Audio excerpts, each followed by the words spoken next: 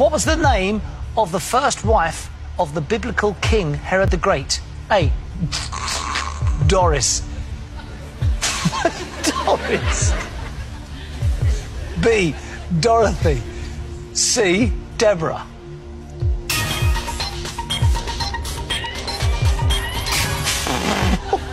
You've put Dorothy. I want it to be Doris. Herod the Great. Doris, is the dinner on?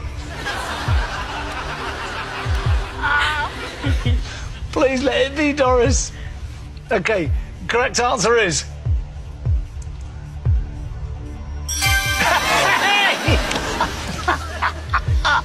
it's brilliant. I love it. Doris, we got to stay where we are. The chaser has put.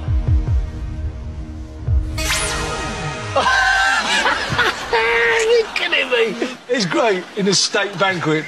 My lords, ladies and gentlemen, Herod the Great and Doris and Doris. Here we. Stay where we are. All right, here's your next question.